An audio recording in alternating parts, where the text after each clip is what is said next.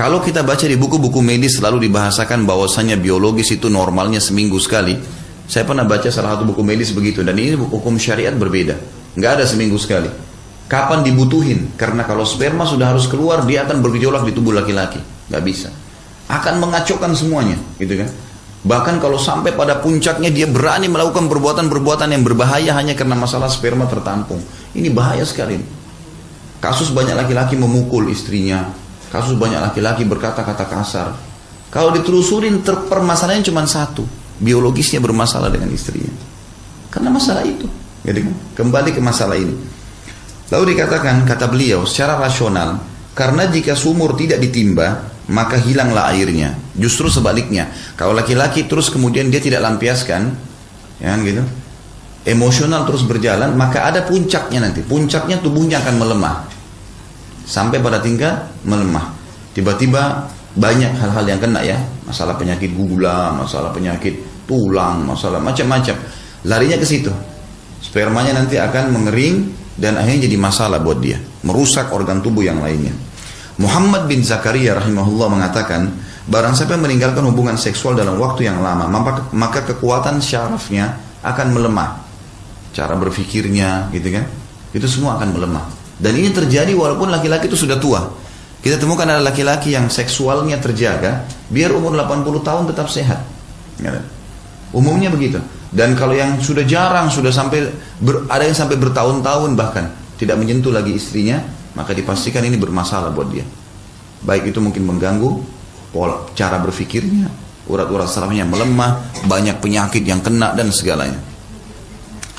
Alirannya tersumbat gitu kan dan kemaluannya tidak berfungsi lagi, lama-lama tidak akan berfungsi.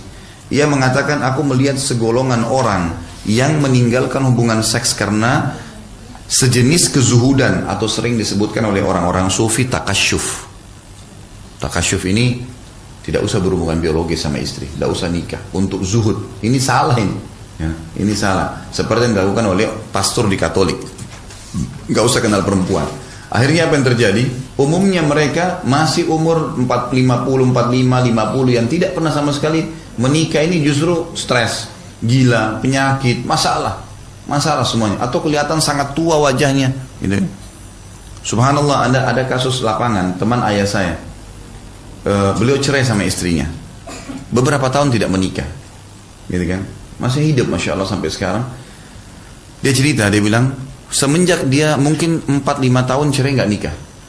Dia bilang, saya bawa obat. Dia bilang sama saya, saya bawa obat ini. Obatnya banyak, satu kresek gitu. Macam-macam.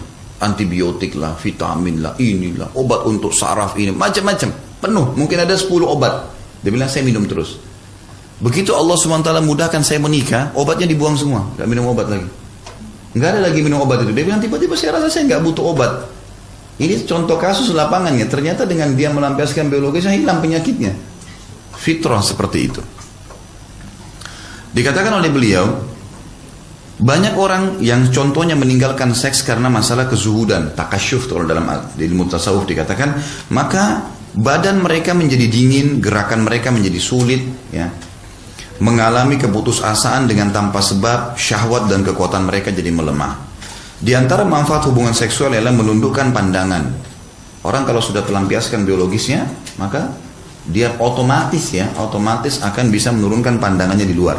Ini mungkin tentu bapak-bapak yang sudah menikah tahu tentang masalah. Kalau dia melampiaskan biologis yang positif dan istrinya bisa melayaninya, maka di luar dia bisa budul basar namanya, menurunkan pandangan dari yang haram. Bahkan subhanallah sampai pada tingkat seperti apa pun fitnah perempuan di depan mata dia tidak terpengaruh. Tidak terpengaruh. Tapi kalau tidak terlampiaskan biar nenek-nenek jadi cantik. Gitu kan? Loh iya. Itu berbahaya. Itu ini sudah fakta lapangan, gitu kan? Jangan dibayangkan. Jadi nggak usah bilang gawat. Ini kata-kata gawat ini dibayangkan. Menahan diri di sini dikatakan di antara manfaat hubungan seks, manfaatnya adalah ia menundukkan pandangan, menahan diri dan mampu memelihara diri dari keharaman.